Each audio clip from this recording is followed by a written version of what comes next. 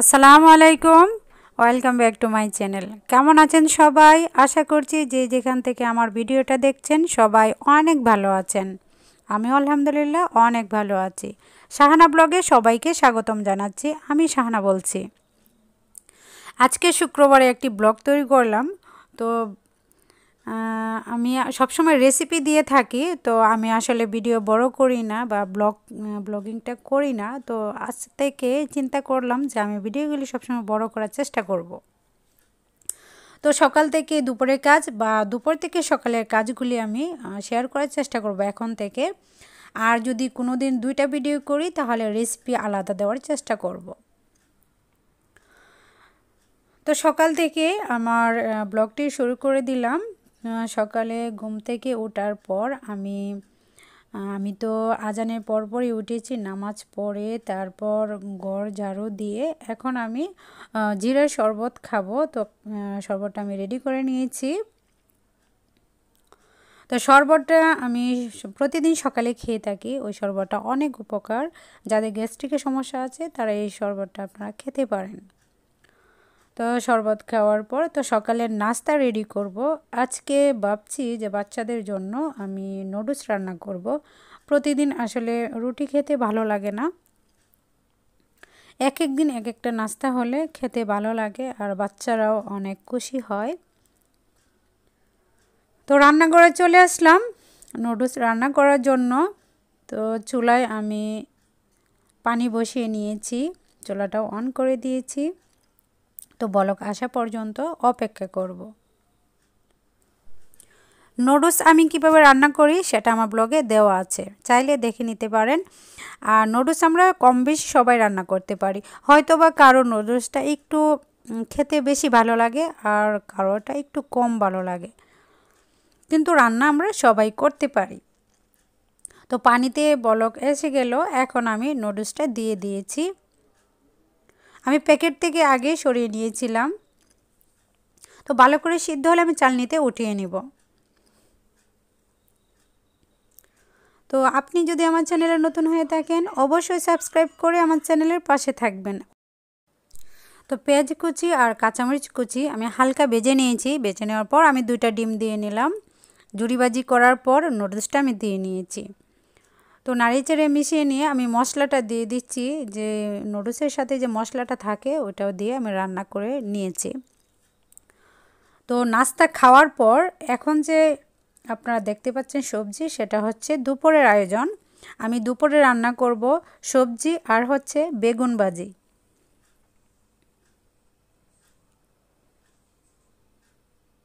সবজি রান্না করার জন্য আমি আলু, পেঁয়াজের টুস তারপর মূলা নিয়েছি, ফুলকপি নিয়েছি।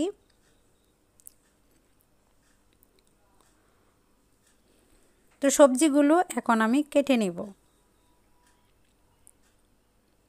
তো ছোট ছোট করে কেটে নিচ্ছি। আমি যেভাবে খেতে পছন্দ করি সেভাবে নিচ্ছি। অনেকে এর চেয়েও ছোটো করে, আবার অনেকে এর চেয়ে বড় করে থাকে।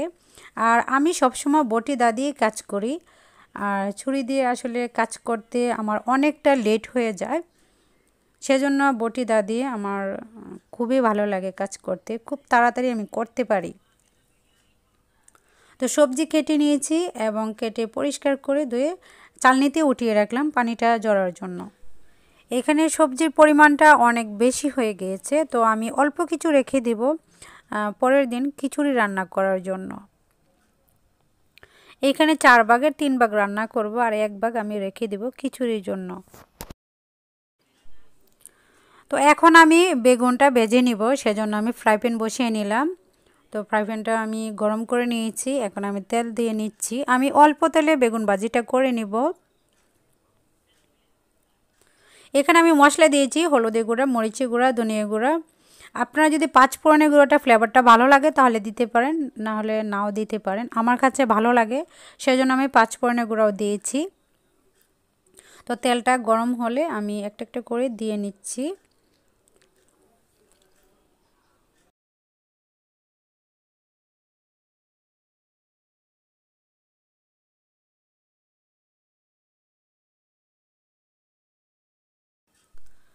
তো একেবারে আমি সবগুলি বেগুন দিয়ে নিয়েছি।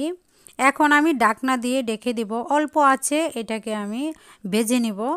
মানে প্রথমে আমি সিদ্ধ করব। এভাবে বেজে নিলে তেলের পরিমাণটা কম হলেও চলে। আর বেগুন বাজিতে তেলের পরিমাণটা বেশি হলে যাদের গ্যাস্ট্রিকের সমস্যা, তাদের অনেক ক্ষতি হয়। আর অল্প তেল খাওয়াই সবচেয়ে ভালো। তো আমি তাপে তাপে এভাবে সিদ্ধ করে নেব প্রথমে। আর লাস্টে যখন ভালো করে ভেজে নিব, তখন অল্প একটু পরিমাণ আমি তেল দেব।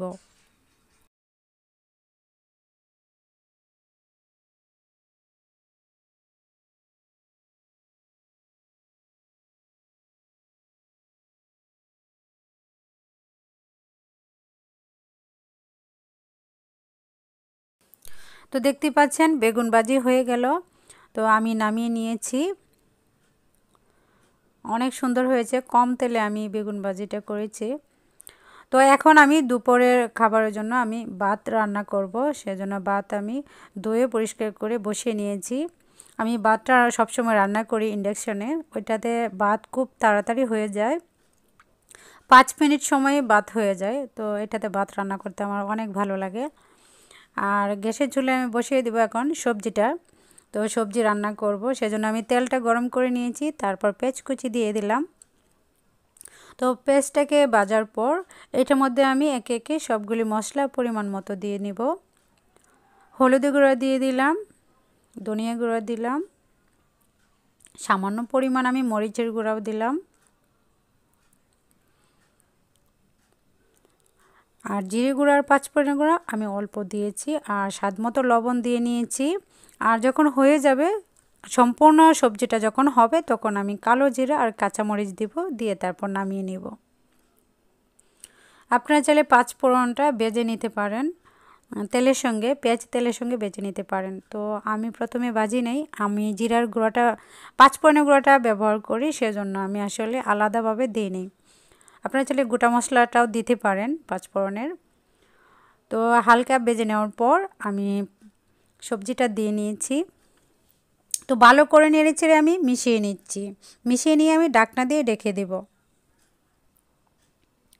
তো আশা করছি আমার আজকে ভিডিওটি আপনাদের কাছে ভালো লাগবে। ভালো লাগলে অবশ্যই লাইক, কমেন্ট করে আপনাদের মতামত জানাবেন। আর অবশ্যই সাবস্ক্রাইব করে আমার চ্যানেলের পাশেই থাকবেন।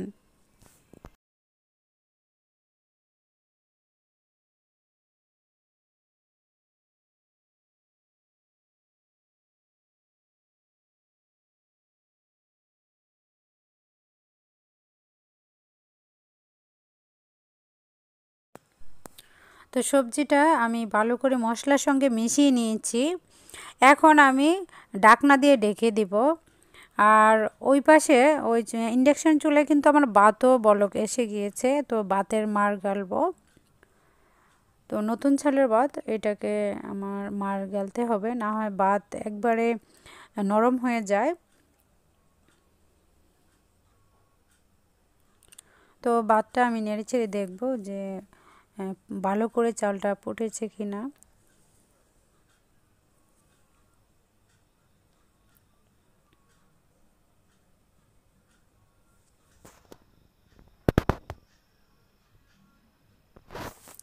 এখন আমি মারটা ফেলে দিব।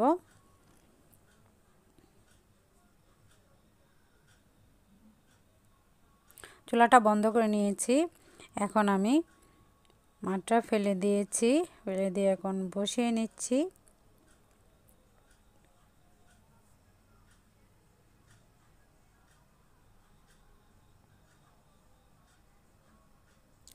তো অল্প আছে, এখন চুলাটা আমি অন করব। অন করে কিছুক্ষণ আমি তাপে রেখে দিব। নিচে যদি পানি থাকে, ওইটা শুকিয়ে যাবে। আর ওই দিক দিয়ে আমার সবজিটাও অর্ধেক সিদ্ধ হয়েছে। ডাকনা কুলে এখন আমি আবার নেড়ে ছেড়ে দিব। তো আজকের দুপুরের খাবার আমাদের একেবারেই নর্মাল খাবার। তবে হ্যাঁ আমার মায়ের হাতের রান্না দুইটা রেসিপি আছে। সেজন্য আসলে হালকা রান্নাটাই আমি করলাম। সবজি আর বেগুন ভাজি।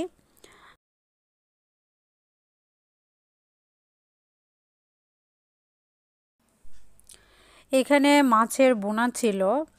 তো এটা রাতে খাবার পর এইটুক অল্প রয়ে গিয়েছিল। তো বাচ্চারা না খেলেও আমি খেয়ে নিব এটা। তো এটা নামিয়ে আর অল্প একটু মুরগির মাংসের তরকারি আছে।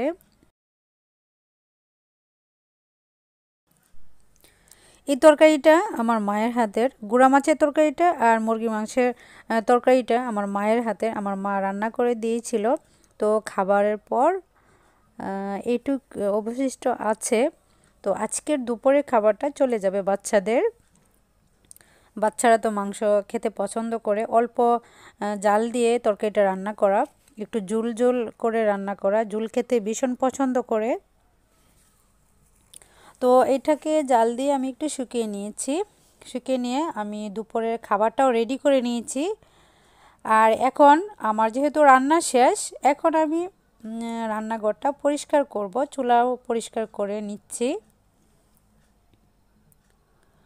তো প্রথমে আমি চুলাটা ইন্ডাকশনটা পরিষ্কার করে নিয়েছি। এখন আমি গ্যাসের চুলাটাও পরিষ্কার করে নিচ্ছি। তো প্রতিদিন রান্না করার পর আমি এই কাজটা করতে আমার ভীষণ ভালো লাগে। কারণ চুলাটা ময়লা থাকলে রান্না করতেও ভালো লাগে না বা দেখতেও কিন্তু ভালো লাগে না। তো চুলা পরিষ্কার করার পর আমি ঘরটাও একটু মুছে নিব। মুছে নিয়ে দুপুরের একটু খাবারটাও সামান্য পরিমাণে একটু শেয়ার করব।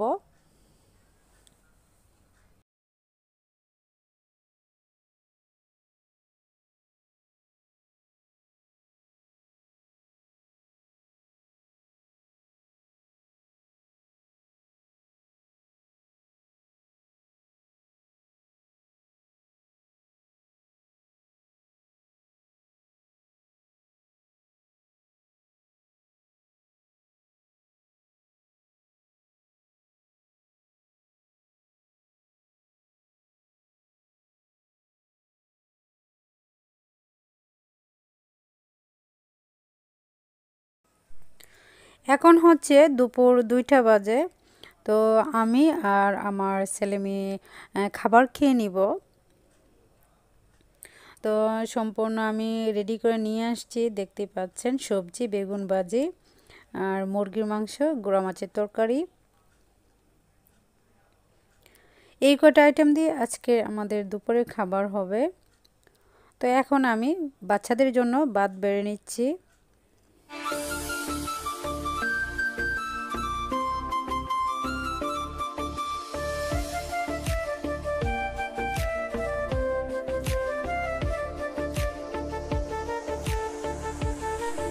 তো আজ এই পর্যন্তই। সবাই ভালো থাকবেন, সুস্থ থাকবেন, সবাই সবার জন্য দোয়া করবেন। আর নতুন নতুন রেসিপি পাওয়ার জন্য অবশ্যই অল বাটনে ক্লিক করে রাখবেন। আল্লাহ হাফেজ।